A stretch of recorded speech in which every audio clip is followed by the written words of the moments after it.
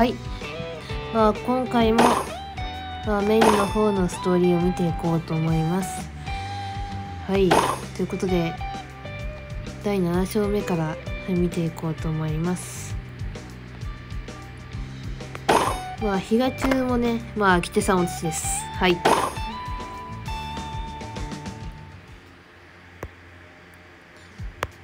うん。驚いた？ええああ痩せたの？えよかったじゃん。うん。うんなんかくっそハードだったからね本当にね。うん。いやそれもあるかもしれないし。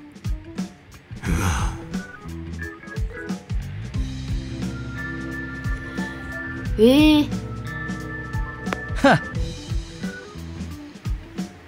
うん。あ。あのくっそぶっ飛んでたけどねけ。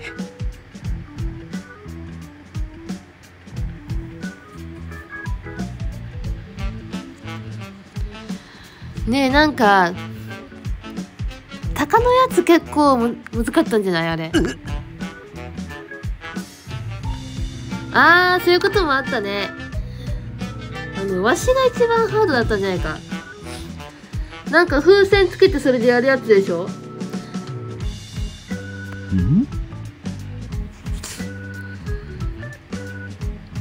っていう反応しますよね 普通ね。うんまあ自分も見たらそう思ったけどね。しかし。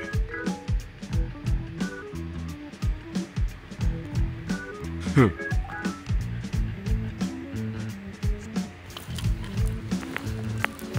まあでも、まあ、崖の上の特訓は結構ねもう中学生がやるレベルじゃないぐらいハードでしたね本当に。あ。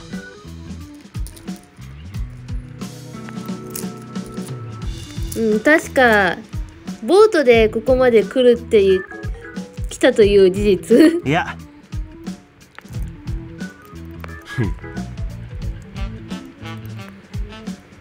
まあねそうそう。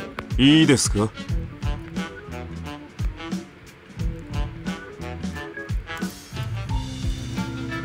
はあ？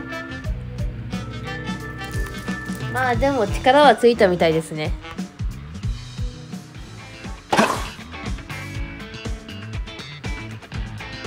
お次は不動峰おいうんでも結構部長結構残ってるね。なんだよ。あのな。でもラリー中にこうやって話せる余余裕があるのがすごいわ。本当に。ちまあまあ。そこはちょっと。ムカつくよななんでいつもいつもこうなの？ななんだよ。おい。はい。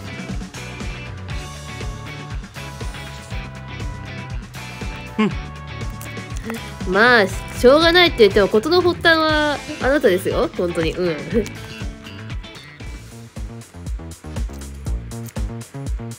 さてえ20名。明日の朝でしょ。ねえ結構ドキドキする。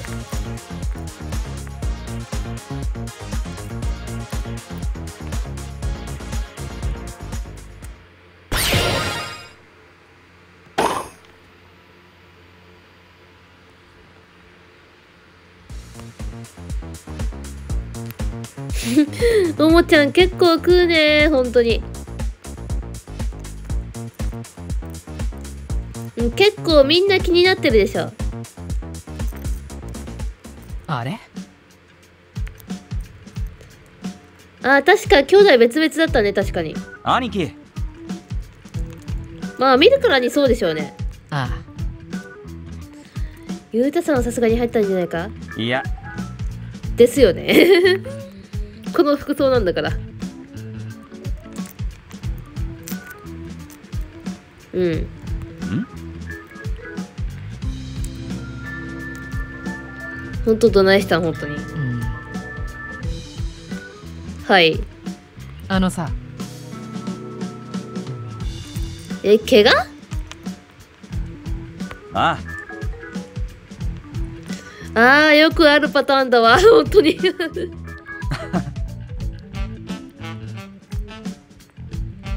あー確かにね。ねああまずそこが問題だよねうん。まあそれなりにまあそれなりになのね。えうん。食事も心配だよね。あ。うんさすがに食べてたよ。もう焼き魚とか。それに。あーそこも気になるか。あ確かに気になるわ。温泉どうしてたん？え川？えー、えー、体温まらないでしょ。ー、ななんだよ。いやー逆に心配するでしょ普通。ねえ心配するのが普通なんじゃないのこれ。たくいや全くっていうレベルじゃないから。さあ。うん？ん？え？って言われても。うん。うわやっぱみんな食事気にしてる。まったく。えー、そうなのなんか意外。いや。まあ一応ちゃんと食べてたには食べてたよね。でも結構食事気になる人多いね。もしかして。あーやっぱみんな気にしてるな。ねうん。おい。いや逆に心配してるだけだと思うよ。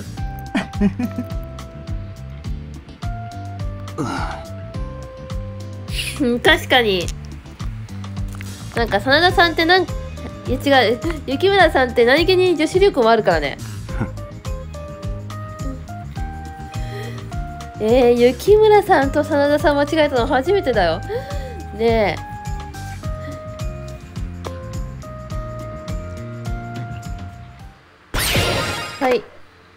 今日結構多めに見たかな。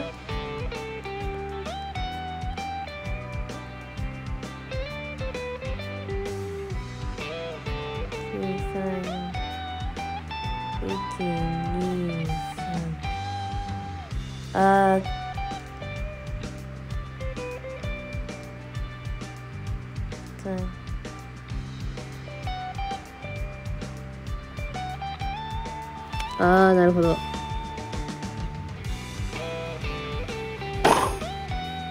はいということで。はいチャンネル登録と高評価まとめてよろしくお願いします。ちょごしご視聴ありがとうございました。